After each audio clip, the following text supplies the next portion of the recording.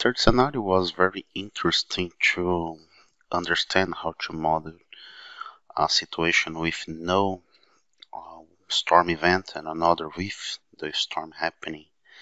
So we could use the active topology alternative. The active topology alternative was helpful to create a situation where there is no catchments in the in the simulation. So this is an interesting thing to do. So in the first scenario, we uh, let's say we turned off the catchments. So we just used the uh, executive attribute in the element. This attribute exists for all elements in, this, in the in the software.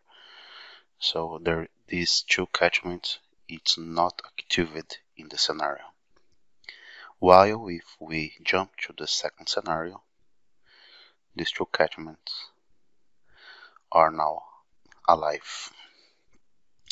So in the first uh, in the first scenario, we could see what happens in the system only with sanitary receivers. So at the manhole number 5 and manhole number 1, we defined just the sanitary loads. We defined a pattern curve with a base flow applied where this number will be will be is multiplied by this pattern curve. So in the manhole 5 it's 3 cubic feet and at the manhole number 1 it's 4 cubic feet per second. Just check the pattern curve, we can see that the peak flow occurs at uh, 9 hours after the start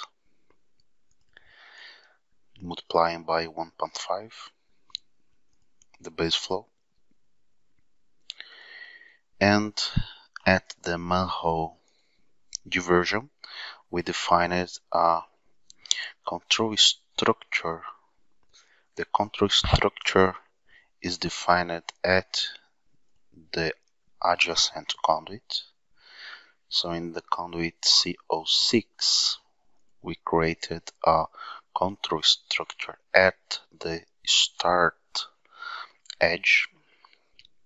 It's a control structure uh, defined by this uh, tool. It's a tool that stores all the control structures called conduit, conduit control structures.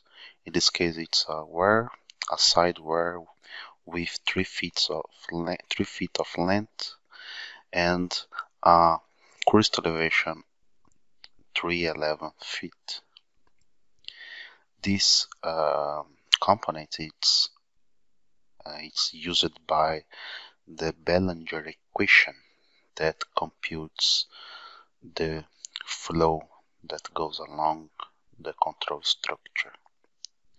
So it's a, a control structure at the elevation 311. This uh, manhole, uh, this manhole's invert elevation is 310 feet. So um,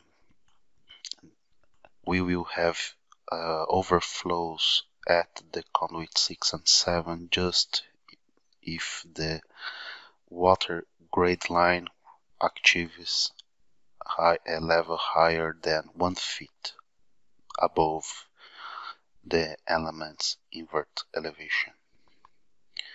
So computing this uh, first scenario, the dry weather scenario, just the sanitary loads, we could note uh, using graphs. So let let's using the quick graph button that at the conduit 6 there is no flow occurring because at the node we can see the depth curve it, almost achieve the one feet depth So all the sanitary loads goes directly to the wastewater treatment plant. So in the second scenario, call it stormy day, we defined a storm event by a curve a curve used um, created by SCS dimensionless curve we defined this storm event and then combined it with the sanitary loads. So as we see in the beginning we activated these two catchments as this scenario. So together with the sanitary loads we could run this scenario for sure we will have uh, overflow at the diversion node because we are were almost achieving the limit of, of one feet of depth. So combined with this storm event we will have a an extra load. So selecting the conduit 6 we can check and see the amount of water that goes directly to the overflow outflow element.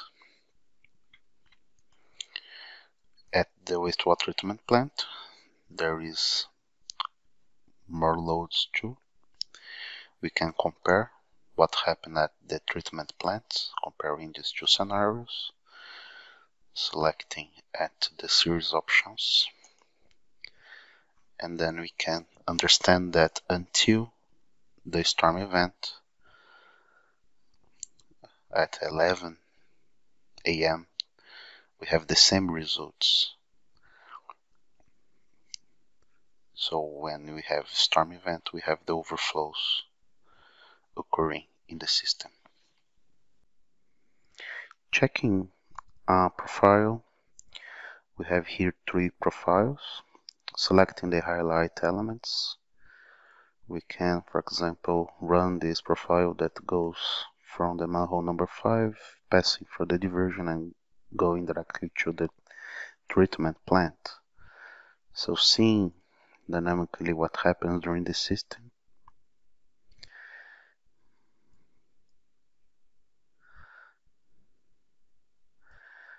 We can turn on the annotation labels.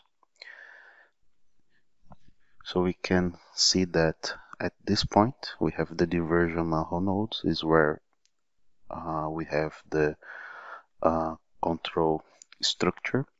So the pipes that goes at the treatment plant it has a, a lower diameter than than the upstream elements so it is causing also a flow to back up into the diversion uh, chamber contributing to, to the overflows.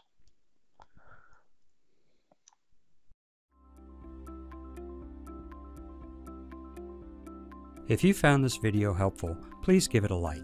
If you want to see more such series, consider subscribing to our channel. Thank you and see you next time.